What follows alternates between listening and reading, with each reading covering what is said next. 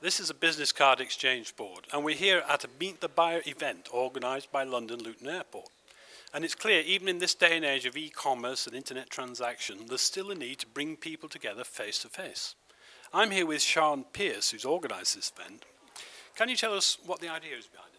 Well, Maurice, it's um, it's part of Luton Airport's uh, commitment to supporting the local economy. So what happens is it's like a speed dating event whereby um, suppliers can come and pitch to local airport-based companies, um, and it gives them the opportunity to showcase their products um, and try and see whether they can try and uh, increase their business. What sort of delegates have you been able to attract today, and what do you think they get out of it? We've been very successful this year in um, attracting a broad range of local businesses. So um, we have training-based companies, um, even dental-based companies that are looking to uh, looking to sell their products to airport companies. Um, we feel that they get a lot out of these events. Um, they uh, can go to seminars where they can learn business skills, um, where they can hone their skills to uh, to produce more professional pitches, um, and also the um, opportunity to network with other local businesses. Um, so we feel that as well as the sort of the pitching side, meeting the buyers, they're also uh, building stronger links with local organisations and other local businesses.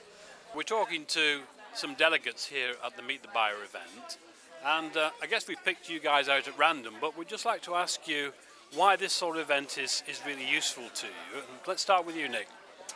Well, I think it gives uh, the, the, the, attendees the opportunity to network with other companies. Um, Ed here, who I've met today, um, seems that we have a lot of synergies between our respective companies and uh, it's a good opportunity to meet other businesses, see how people are doing businesses, particularly in these difficult economic times. Uh, I think it's been very helpful for us to see how other people are getting around those economic challenges as well. So uh, in addition to the networking opportunity it presents and clearly the opportunity to meet the buyer, uh, very important for us to understand how people are coping with the current challenges. And what have you got out of it so far, Ed? I think it's been a, a very useful event for me so far. I've met some very interesting contacts from the, the Luton Airport itself. Uh, they've been very excited about my products. Again, echoing what Nick said earlier, uh, networking with other companies in the local area is very useful. I've uh, got a sign um, card here from uh, our colleague here, Trevor. Uh, I'm also going to do some business with this guy, I think, in the near future. So it's, it's, it's working out to be a very positive day for me.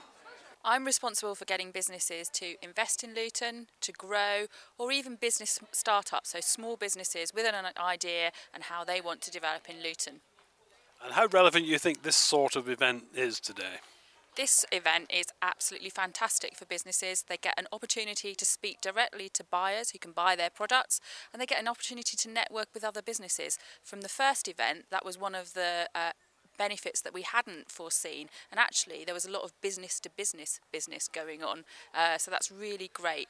I'm with Councillor Roy Davis. Uh, Roy, how important do you think this sort of event is today? It's very important because it gives people an opportunity to do business with their local companies. We're very keen to encourage the local economy. That means giving local people a chance, both for employment and for doing business with companies, particularly at the airport.